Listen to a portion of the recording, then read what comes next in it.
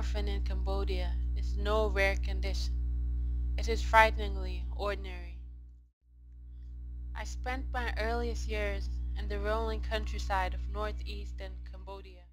Grandfather's house was small and ramshackle, half falling over. I was his domestic servant. Such things were common in Cambodia.